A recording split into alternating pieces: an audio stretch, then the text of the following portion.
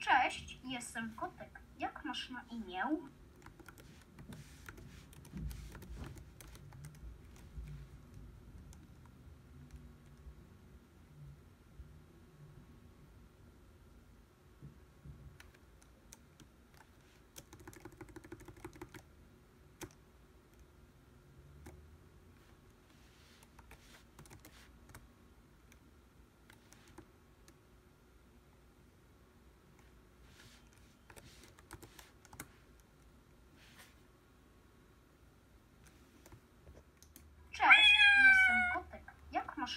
Cześć,